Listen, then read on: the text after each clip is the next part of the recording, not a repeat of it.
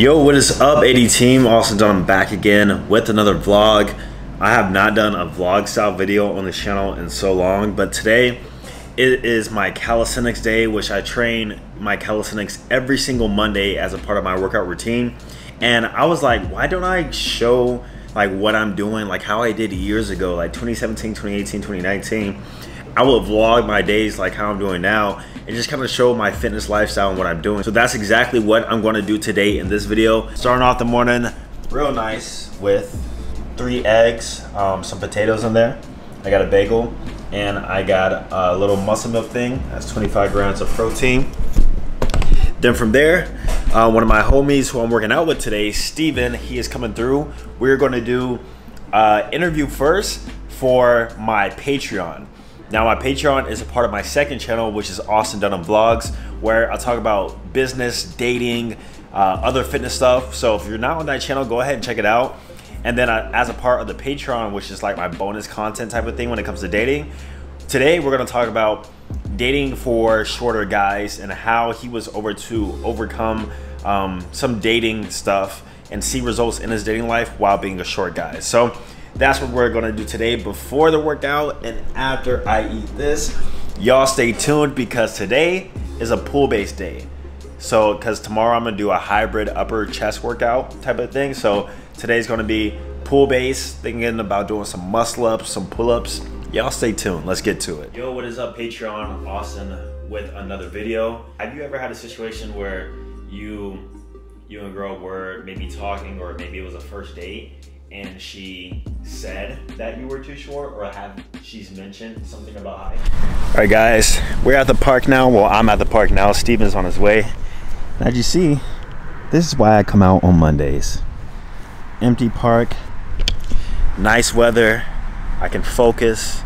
The wind is perfect amount of breeze. And we're gonna get a great workout, guys. I love training out here. It really brings me back to my roots. Like I said, I remember those days back in college when I would train at the calisthenics park where you guys know as the legendary pull-up bars.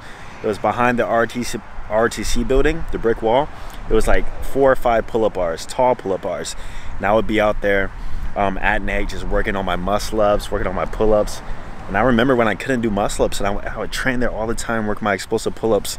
And now here I am, what, four, five, six years later, still at the Calisthenics Park doing what I love to do. Say what's up, Steven. Yo, what's up? What's going on, guys? What are you working on today? Doing some pull exercises today. Just warming up, warming up the lats, upper back.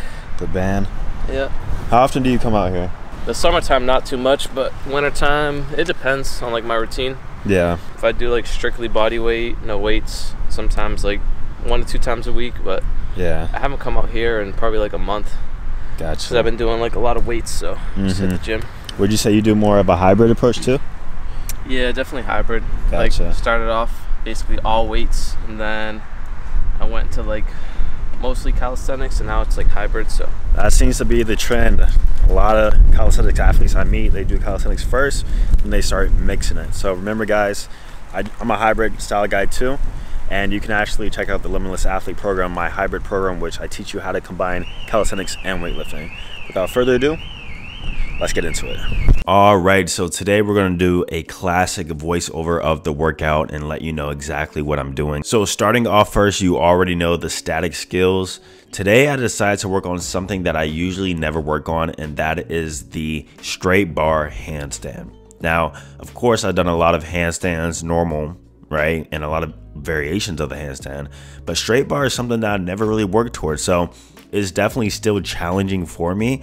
And every time I'm at the calisthenics park, I am working my straight bar handstands on this low bar right here too. Kind of makes me feel like a beginner again back when I was learning how to do the handstand years ago. So I kind of like the feeling of a new challenge.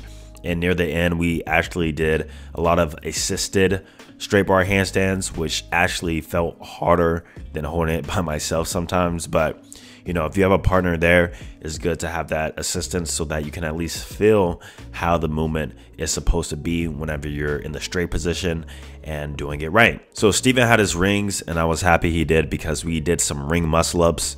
Now, as you see, we did them assisted ring muscle ups. And this is how I've learned the ring muscle up back in the past by kind of doing like a pistol squat type of ring muscle up And this allows me to focus on my false grip throughout the whole movement and kind of focus on that turnover part, which is the hardest part of the ring muscle up.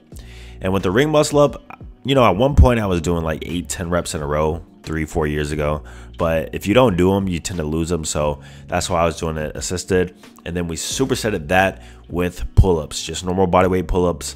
But after you do the assisted ring muscle ups, and if you do it right, trust me, the pull ups are going to be difficult. You're probably only going to be able to do 10 or so.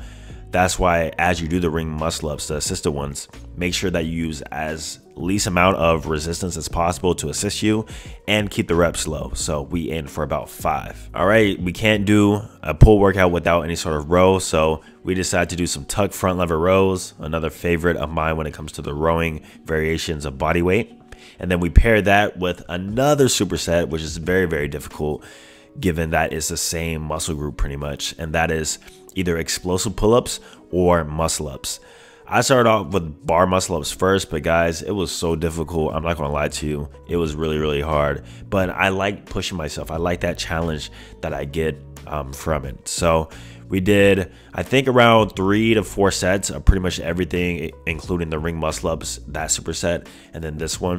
It was a pretty short workout, but we were definitely feeling it at the end. And overall, we trained intensely. So that's pretty much all we needed. So this was the full body weight training workout. The next day, of course, I'm gonna go to the gym, do some hybrid stuff, maybe a weightlifting focused type of push day.